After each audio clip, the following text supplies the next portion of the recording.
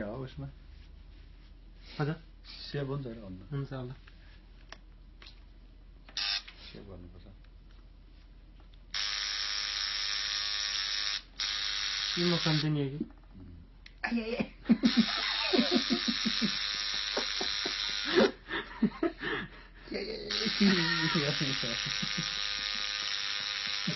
उफ्रेर जाने कि हातै छोड्दै लगेर कुर्सीमा हान्छ अरे गाने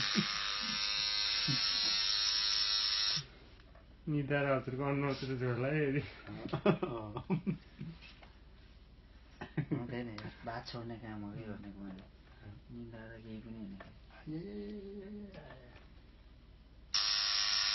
हठात सुर्तै नमान्न हो सुर्त नमान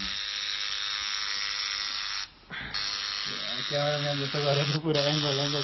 खिच्ला माथिबाट पुरै पारा ल्याउँछ कि अलिक नजिकबाट पनि खिच्ने के गर्ला। नजिकबाट यहाँ